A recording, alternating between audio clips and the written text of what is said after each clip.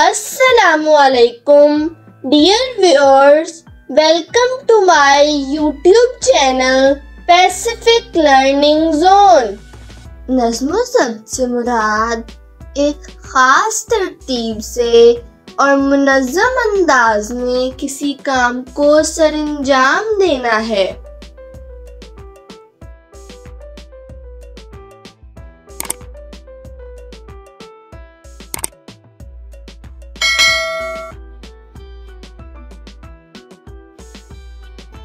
कायनात की हर शय का वजूद नज्म जब्त पर मुनहसर है।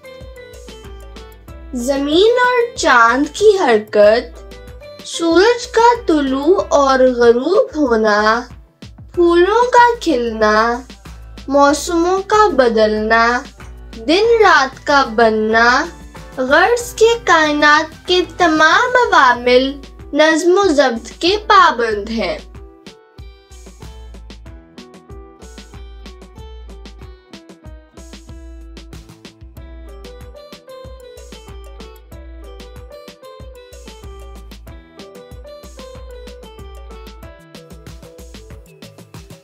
नज्म जब्त किसी भी फर्द, कौम या मुआशरे की तरक्की के लिए बहुत अहमियत का हामिल है। जो कौमें नज्म जब्त को अपना शुआर बना लेती हैं, तरक्की और कामयाबी उनका मुकद्दर ठहरती है।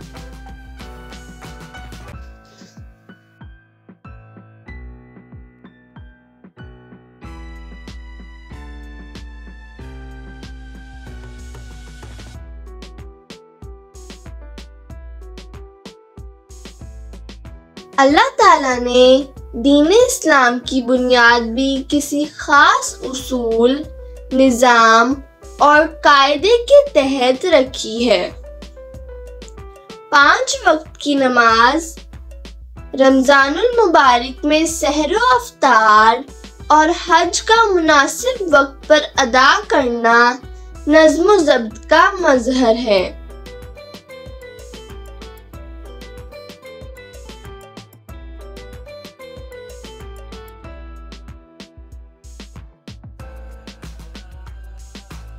सरकारी दफातर और इदारे भी नज्म जब्त की पाबंदी करते हैं। अगर उसूलों की पैरवी ना की जाए तो कौम मुआशरा तनजली का शिकार हो जाता है।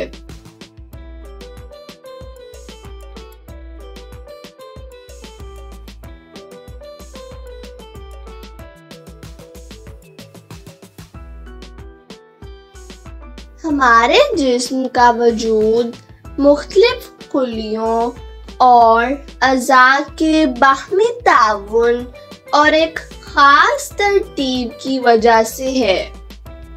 तमाम कुलिए और अज़ा नज्म जब्त के तहत जिसम में मुख्तलिफ़ अफ़ाल सर अंजाम दे रहे हैं।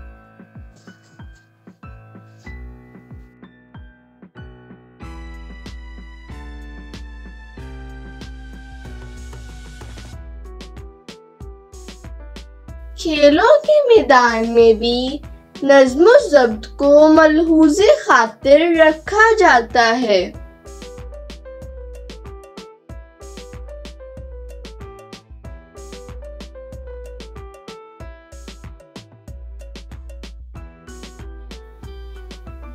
जानवर, हशरात कीड़े मकोड़े और शहद की मक्खियाँ बाहमी इतिहाद और नज्म जब्त से ज़िंदगी गुजारते हैं।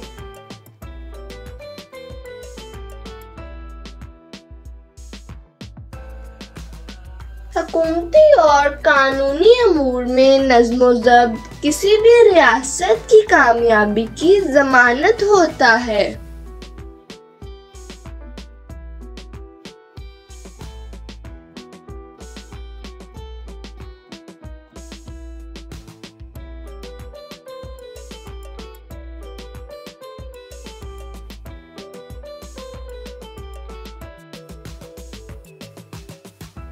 अल्लाह ताला के बताए हुए उसूलों के मुताबिक ज़िंदगी गुजारना और दीनी तालीमात की पैरवी करते हुए नज्म ज़ब्त के सुनहरी उसूलों को अपनाना, ज़िंदगी में कामयाब और आखिरत में सुरखुरू होने का जामिन है।